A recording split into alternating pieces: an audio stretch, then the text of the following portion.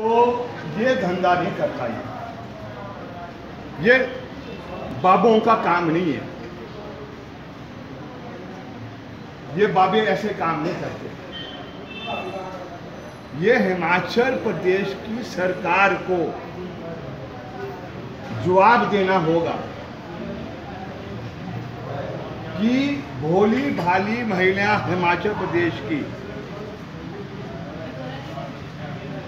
उनके साथ ठगाकर लालच देकर, ऐसे धंधे कर रहा है जो बहुत शर्मनाक है।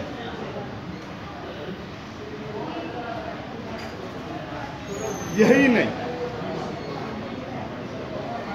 आज हिमाचल प्रदेश की सरकार भी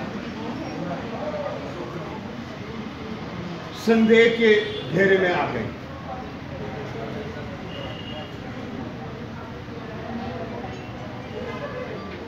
अगर आप इसको शुरू से ट्रेस करें सारे सिलसिले को, जो आज करना बहुत ज़रूरी हो गया है, जिसके लिए हमारी हिमाचल के सांसद